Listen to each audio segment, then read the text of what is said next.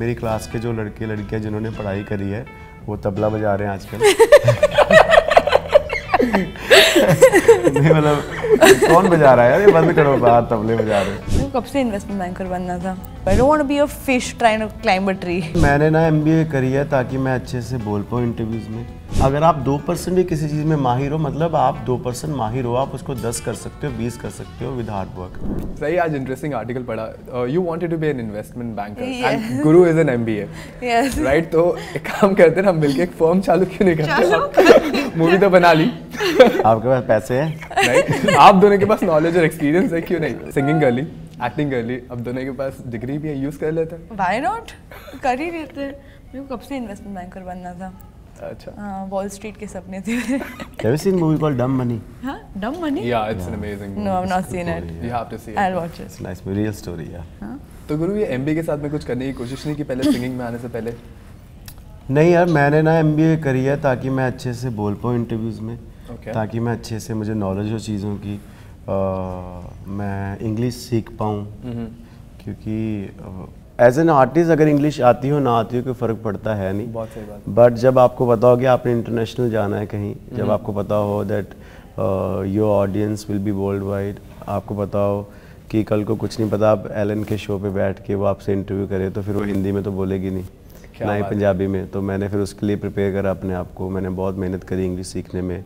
फिर मूवीज़ देख देख के सीखा मैंने बहुत कुछ। और एमबीए एक तो पढ़ाई कभी भी देखो ख़राब नहीं होती। सबको पढ़ना चाहिए सबको आगे बढ़ना चाहिए। अ, मैं तो चलो अलग टैलेंट था मेरे में भगवान ने दिया हुआ कि मुझे सिंगर ही बनना था ऑलवेज बट मेरी क्लास के जो लड़के लड़कियाँ जिन्होंने पढ़ाई करी है वो तबला बजा रहे हैं आजकल।